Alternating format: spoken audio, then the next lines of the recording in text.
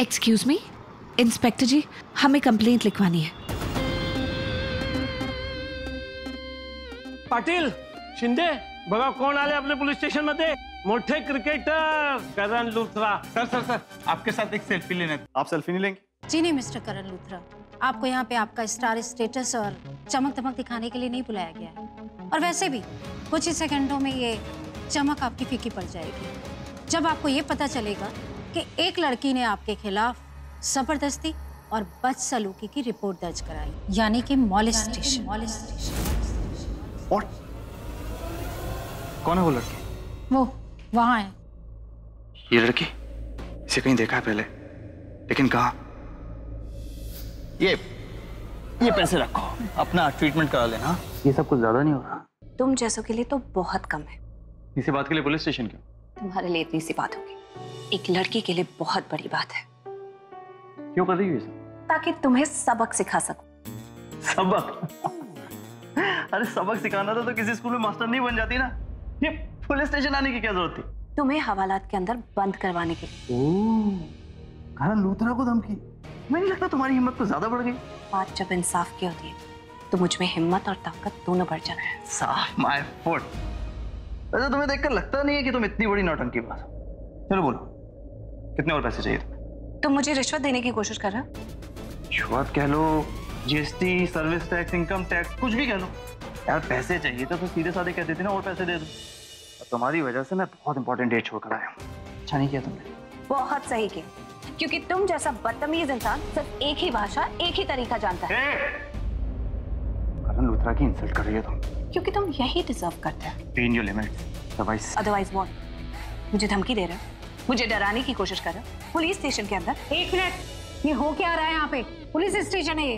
और मिस्टर करण लूथरा आपके ऊपर जो चार्ज लगा है उसके बारे में आपको क्या कहना है? हम ये लड़की झूठ बोल जिस वक्त इसका एक्सीडेंट हुआ उस वक्त गाड़ी मेरा ड्राइवर चला था। तो मैंने इसे पैसे भी दिए थे इलाज करवाने के राइट दिए थे ना?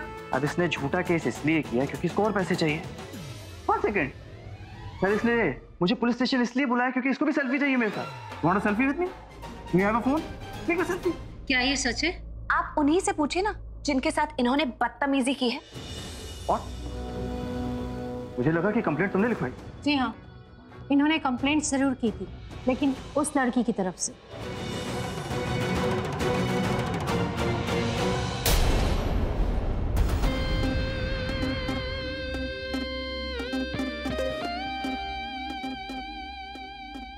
हाय स्वीटू तुम हो यहाँ इस जगह पर?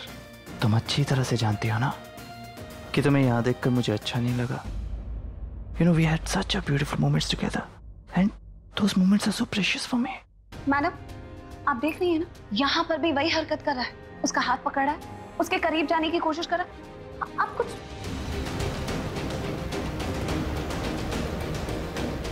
बहुत हो गई बेशर्मी की भी हद होती है। इंस्पेक्टर साहब, इसे अभी के अभी लॉकअप में बंद कर दीजिए।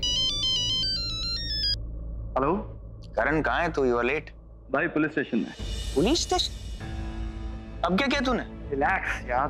तू मेरी इतनी फ़िक्र मत किया था मैं सब संभाल लूँगा बच्चा नहीं हुआ।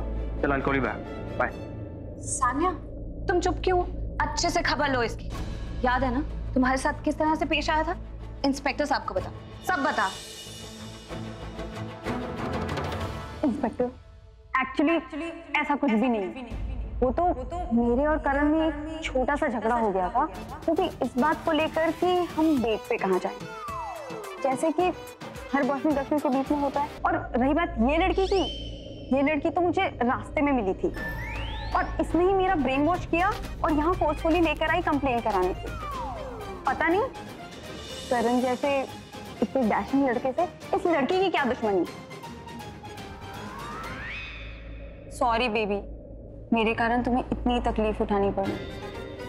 Absolutely no worries babes no worries inspector क्या मैं जा सकता हूँ? मेरे पास जेलस और क्रेजी लड़कियों की बातें सुनने का वक्त नहीं है।